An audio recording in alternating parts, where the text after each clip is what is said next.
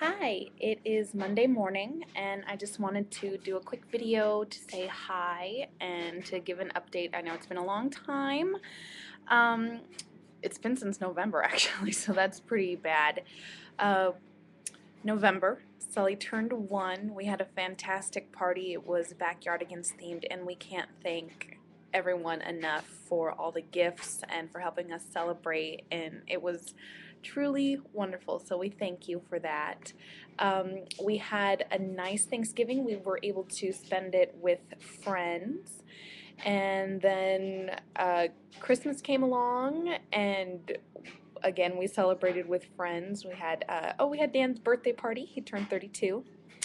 And uh, we were able to go out and explore a little bit while Dan was on vacation. We finally went on the trains. It was it was fun and it's a lot easier than we thought it would be. So that's gonna be we're, we'll be exploring more on the trains and everything. I, I went and got a whole bunch of maps and I think our next big trip is planned for the zoo. That's not too far away.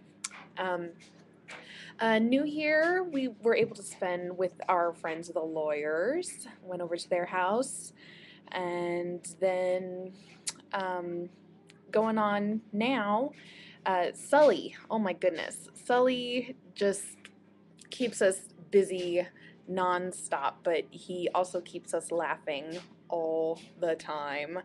Um, he eats almost anything, but he is so active that he's really not gaining any weight, but the doctor's not concerned, so we're not concerned.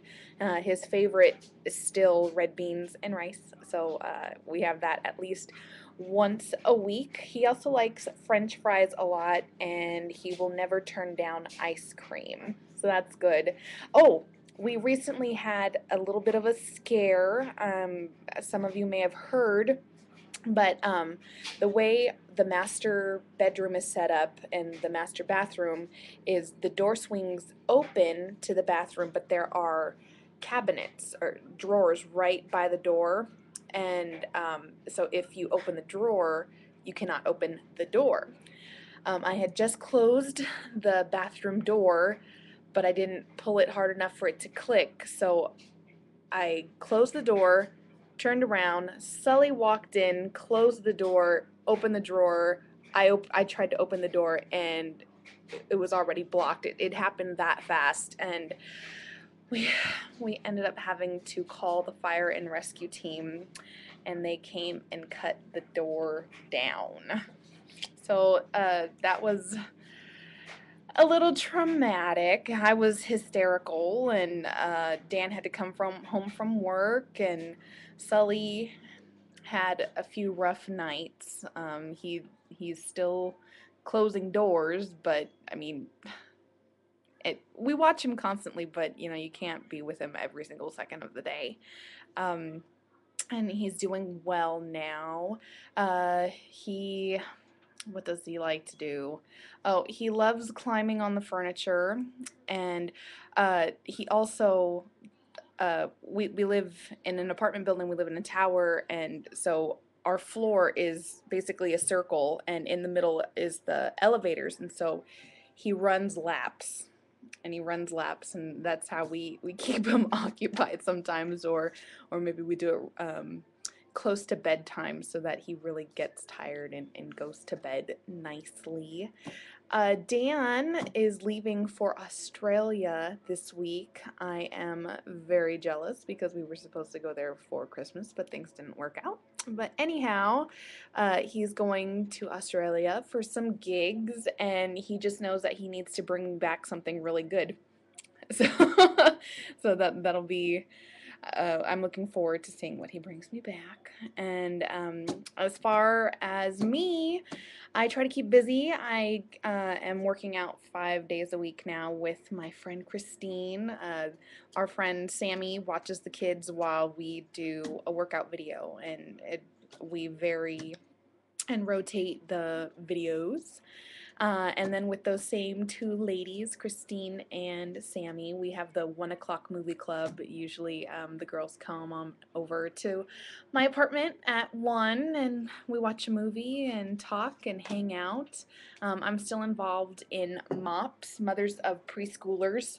And that's a great time because um, Sully gets to play with kids his own age while I get to talk to other moms, and, and it's really a uh, we support each other, and I've I've made a fantastic friend. Her name is Nikki, and um, and I've made other friends as well. I look forward to that meeting every month. Um, uh, my ears are doing much better. My ears are better. It, it's still itchy. I, I think it's caused by like the pollution here but uh, I've I've basically learned to deal with it and put up with it and we do hydrogen peroxide in my ears and stuff. Um, otherwise health is good. And oh some more news um, you might have heard um, Mount Asama which is 65 miles north northwest of Fussa, where we are, um, erupted. And on that very first day when it erupted, um, we had ash on our car. Um, but we really haven't noticed anything else. Uh, uh, we didn't see the plume, and um, the skies have not been like really overcast at all. Um, it's it's a little strange. Like it, the sky will be blue, but there's like a yellowish tinge to the light. Uh, maybe that's from from the volcanic activity, but other than that, um, oh, we went to, uh, I know it's a lot. Uh, it's been since November. I, I have to try to catch you up on something. Um, uh, we went to a murder mystery party um, I put some pictures of it up on Facebook. Um, our friend Stephen Tess invited us. It was our first one. It was Mardi Gras themed, and I won. So yeah, that was fun. I got a bottle of wine as my prize, and uh, we got oh, a king necklace because you know Mardi Gras. I put it on and said Flavor Flav. Yeah. Anyways, I'm a dork. I know. Um, we miss you all. We love you all.